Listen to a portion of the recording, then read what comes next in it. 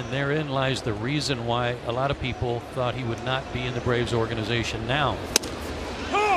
He just threw three pitches. Yeah. Jarrod Saltalamacchia took them all for strikes. Right down Broadway with that one. Welcome to the big leagues, Cody. His first strikeout.